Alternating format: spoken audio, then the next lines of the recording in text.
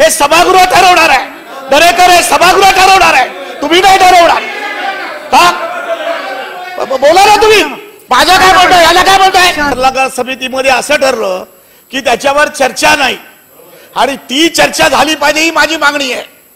त्या तेथे आपण पण होतात की पुढे हळू हळू हळू. हळूहळू एकच कसं होणार? हे सभागृह ठरवणार आहे. दरेकर हे सभागृह ठरवणार आहे तुम्ही नाही ठरवणार का ब- ब- बोला ना तुम्ही? माझं काय म्हणताय? याला काय म्हणताय? शांतपणे बोला. मी- नाही नाही. माझं काय म्हणणं आहे? म्हणणं पूर्ण करा. मी सुरुवातीला बोललो तेव्हा ते नव्हते. माझं काय म्हणणं आहे? बीएससीच्या बाहेर काय मी बोलतच नाहीये.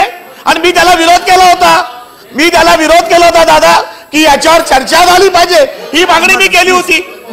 नाही नाही तुम्ही नाही, वेळा. बोललात भाऊ? माझं म्हणणं आहे याच्यावर आणखीन आक्षेप आहे. दादा नाताभाऊ नाताभाऊ नाताभाऊ एकच मिनिट. की ठराव वेगळा आहे आणि ही चर्चा वेगळी आहे. आणि तेव्हा माननीय उपमुख्यमंत्र्यांनी मला सांगितलं तुम्ही चर्चा करू शकता. मग आज चर्चेला सुरुवात झाली आहे. आमचं म्हणणं या चर्चेमध्ये भाग घ्यायचा. तुम्ही त्याच्यामध्ये जी प्रश्नता आणली नाही दोनशे साठमध्ये ही चर्चा कन्वर्ट झाली पाहिजे. ठराव हा वेगळा विषय आहे. ही चर्चा दोनशे साठमध्ये कन्वर्ट झाली पाहिजे. याचं आपण रुलिंग दिलं नाही याचं रुलिंग दिलं नाहीत आपण सभापती मला रुलिंग देण्यासाठी सगळ्या गटनेत्यांशी चर्चा करायला लागेल. तर मला ऍक्च्युली नियमाने विचार केला तर सभागृह दहा मिनिटासाठी तहकूब ठेवून तुम्हाला चहा प्यायला बोलवायला लागेल तुमचं मत द्यायला लागेल किंवा तुम्हाला तुम पूर्ण ऐकून घ्या.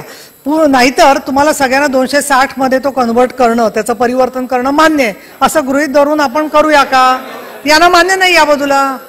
जयंतराव तुम्ही समजून घ्या काही गोष्टी. आणि कृपा करून तुम्ही ठराव आणि प्रस्ताव याच्यात गल्लत करू नका.